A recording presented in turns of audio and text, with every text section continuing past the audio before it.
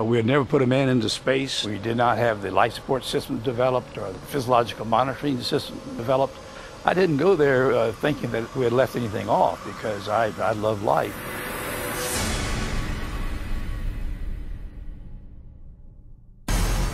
Going up to 120,000 feet in a pressurized capsule hanging underneath a helium balloon. Rather dangerous situation. They were ahead of the time. A lot of people tried it, some of them failed to set up the right team. 50 years ago, I made a jump from uh, 20 miles from the edge of space. This year, Felix Baumgartner is going to jump from 24 miles at the edge of space. There's a lot of similarities between Felix and I.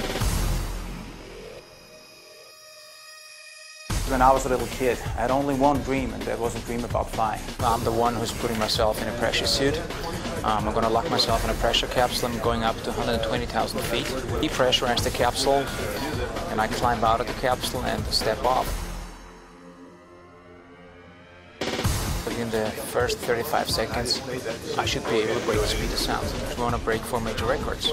My record was set many years ago. It's obvious it should be beaten. The scientific aspect of this project. The main objectives for this project, for the Red Bull Stratos program, is really to collect the technical data to understand egress at high altitude. What we're going to gain is a lot of valid information for the future, for future space projects.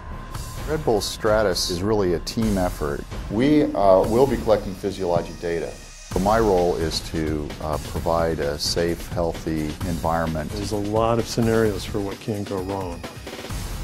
We have to do a lot of test jumps just to make sure our equipment works properly. What you worry about the most is what you have not anticipated. The engineering is done, the capsule's done, the balloons are complete. We have them sitting to the side. It's just pulling all the components together, getting all the final testing, and making sure we meet our weather windows, because weather is a big factor. And the only connection that I have to the Earth is Joe's voice on the radio in my helmet. Joe, he's the only one who has been there and done that. I'm involved daily in the training uh, Felix and the uh, technical problems associated with it because I've been there. I've made five high altitude balloon flights. Uh, I made three jumps from space. So I have the background. He was my childhood hero. He knows exactly what to do and I feel totally confident to pull this off.